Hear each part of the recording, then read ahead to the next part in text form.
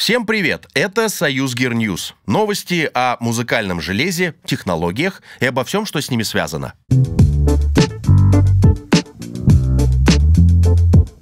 Компания Roland выпускает серию новых портативных клавишных устройств под общим названием GO:KEYS. Так, GO:KEYS 3 уже назвали фортепиано для новичков.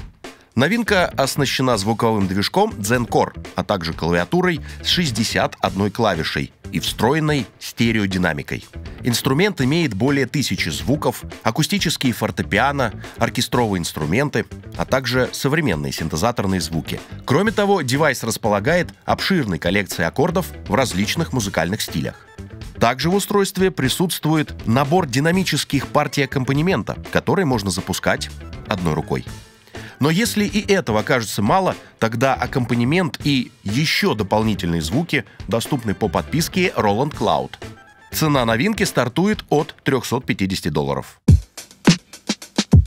Один из лидеров на рынке виниловых проигрывателей, компания Project, выпустила наборы для апгрейда вертушек.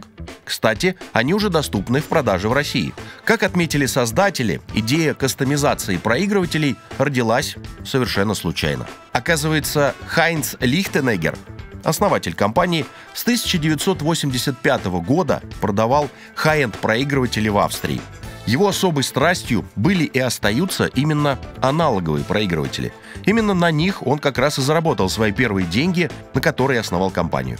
Любовь к нецифровому звуку сохранилась с годами. Так и появилась серия наборов для апгрейда вертушек. Сейчас компания Pro-Ject выпустила уже три набора, которые помогут улучшить качество звучания абсолютно любого проигрывателя.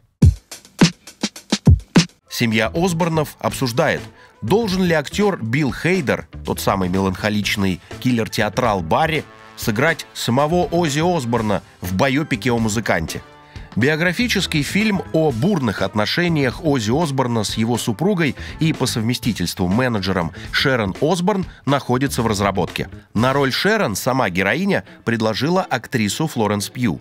А Джек Осборн хотел бы видеть именно Билла Хейдера на роль отца. Как сказал сам Ози Осборн, в роли себя он хотел бы видеть какого-нибудь не очень известного актера. Но есть один момент. Биллу Хейдеру сейчас 45 лет, и Оззи Осборн выразил опасение, что до выхода фильма актер может не дожить. Это были «Союз Gear News», новости, которые всегда звучат качественно –